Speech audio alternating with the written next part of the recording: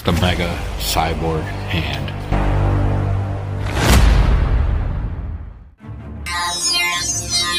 That's actually a really cool toy. We scored some loot for Christmas, right? Mm-hmm. Yeah, one of the things you asked for Santa was the Mega Cyborg hand by Thames and Kosmos.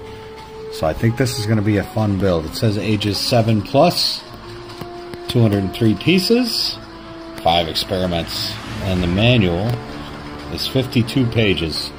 Alright, let's go ahead and open it up, buddy. Looks like there's some tubes and springs. Ooh, it's kind of like a model kit. Yeah, it's kind of like a model kit. We're going to have to build it. Which we build a lot of things, so um, Okay.